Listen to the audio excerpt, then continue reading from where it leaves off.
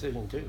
I mean, it's, I, there's nothing that happens on this football team that I don't approve of Sure. or know about. So, uh, Ward being out there is because he's earning it. He's working at it. I mean, he's doing good things. Uh, he plays a position that uh, we think uh, we've been needing a guy to step up. We see things, uh, him improving each and every day and doing the things that we're asking. He needs to continue to do that, uh, to continue to be out there. But we know he's very talented. That's why we drafted him.